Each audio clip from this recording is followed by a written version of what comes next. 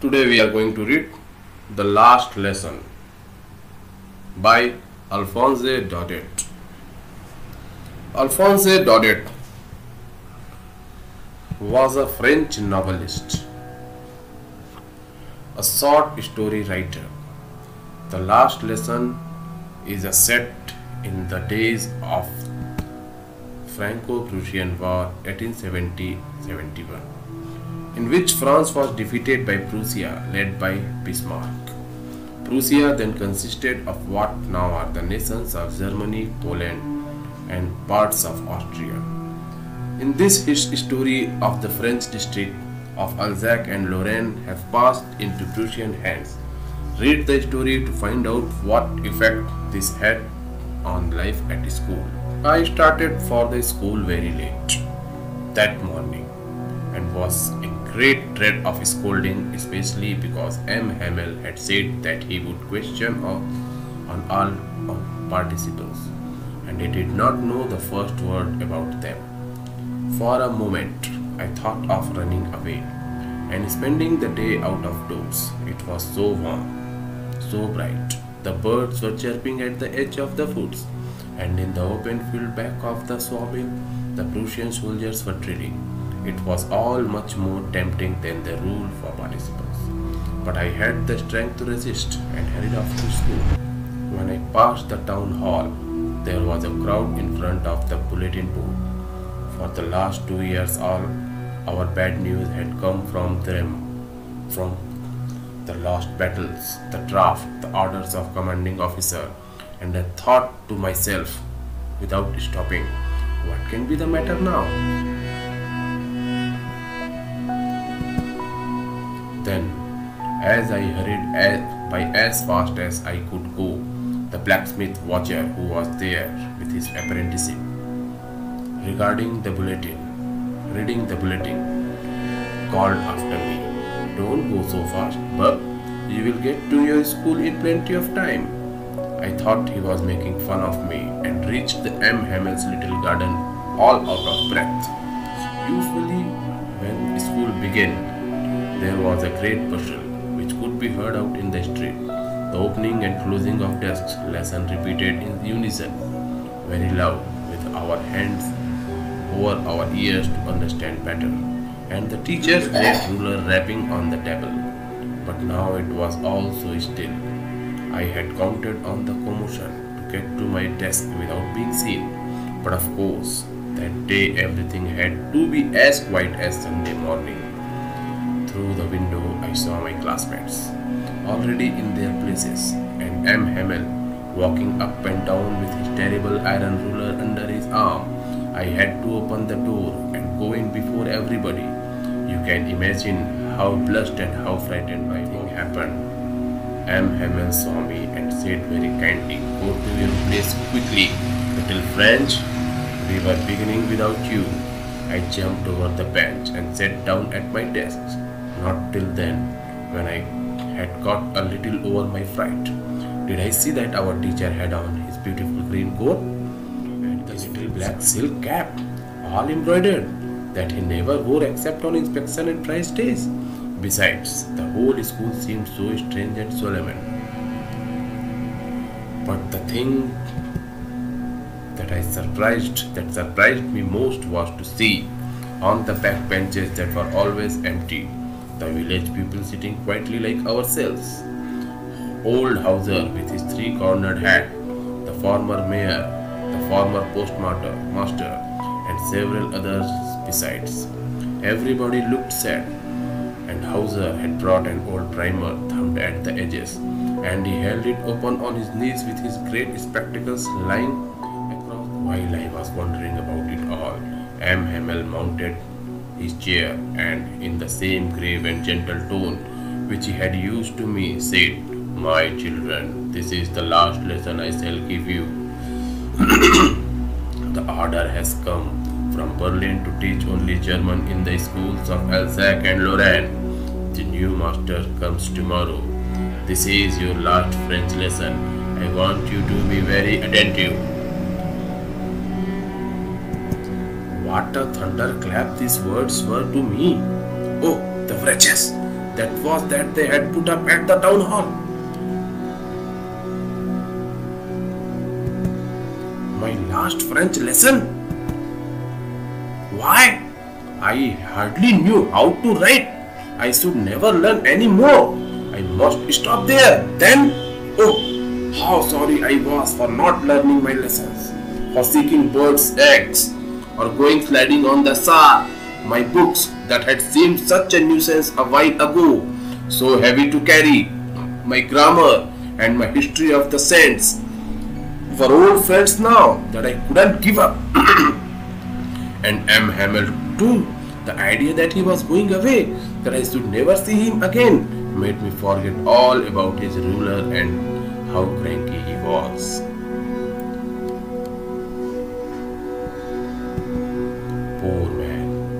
Was in honor of this last lesson that he had put on his fine Sunday clothes, and now I understood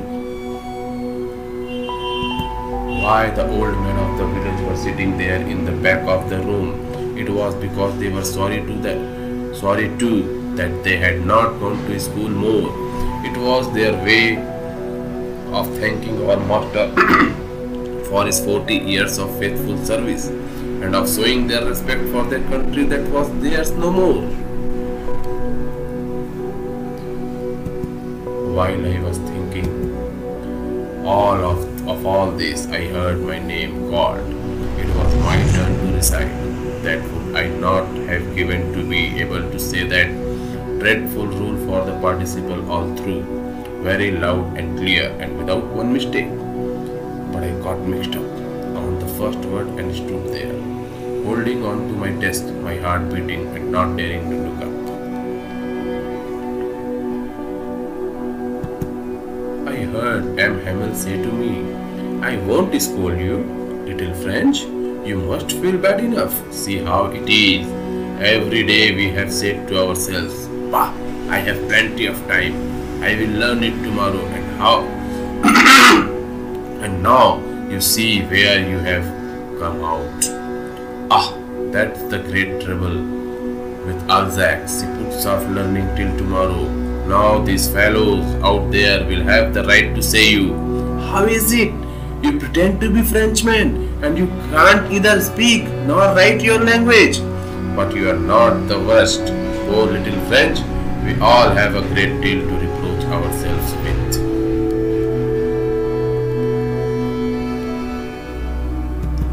Your parents.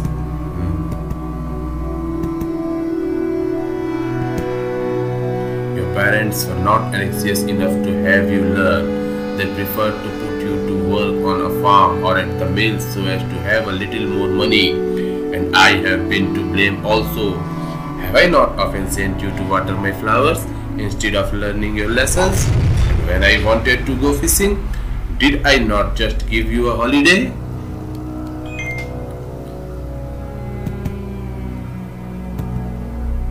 Then from one thing to another, M. Hamel went on to talk of the French language, saying that it was the most beautiful language.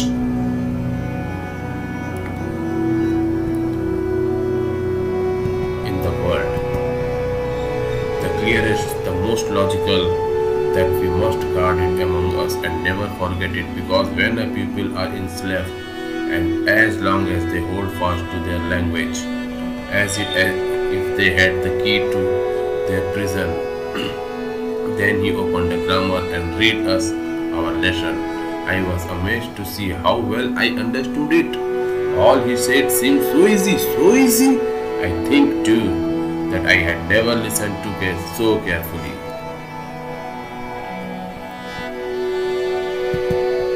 And what he had never explained everything so much patience, with so much patience.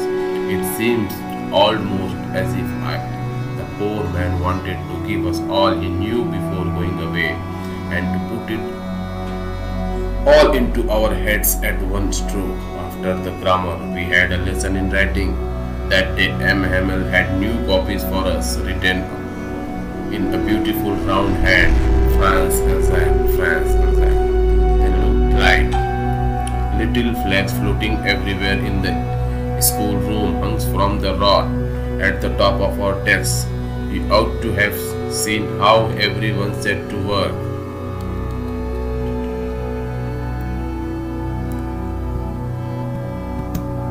And how quiet as it was. The only sound was scratching of the pens over the paper. Once some petals flew in, no, but nobody paid any attention to them, not even the littlest one worked right on dressing their fish hooks, as if that was French too. On the roof, the pigeons cooed very low. I thought to myself, will they make them sing in German, even the pigeons? Whenever I looked up from my writing, I saw M. Hamel sitting motionless in his chair and gazing first at one thing, then at another, as if he wanted to fix in his mind just how everything looked in that little schoolroom. Fancy, for 40 years he had been there in the same place with his garden outside the window and his class in front of him. Just like that. Only the desk and benches had been worn smooth. The walnut trees in the garden were taller and the roof vine that he had planted himself twined about the windows to the roof. How it must have broken his heart to leave it all, poor man, his sister moving about in the room above, packing their trunks, for they must leave the country next day. But he had the courage to hear every lesson to the very fast. After the writing, we had a lesson in history, and then the babies chanted their ba baby bo down there at the back of the room. Old Hauser had on his spectacles and, holding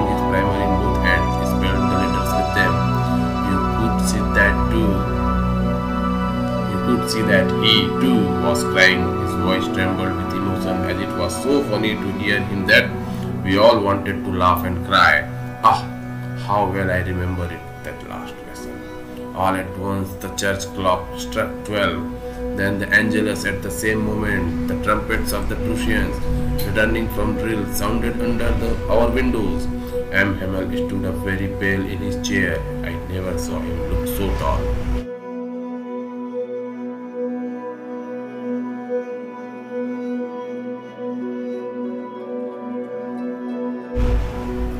Friends, said he, I, I, but something choked him. He couldn't go on. Then he turned to the blackboard, took a piece of chalk, and bearing on with all this, all his might, he wrote as large as he could, Viva la France. Then he stopped and leaned his head against the wall, and without a word, he made a gesture to us with his hand. School is dismissed, you may go.